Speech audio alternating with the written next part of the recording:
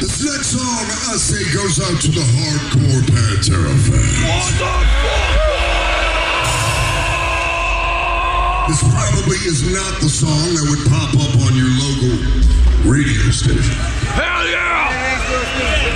But still, I do believe you'll enjoy this interpretation. This is one called Suicide Note Part 2.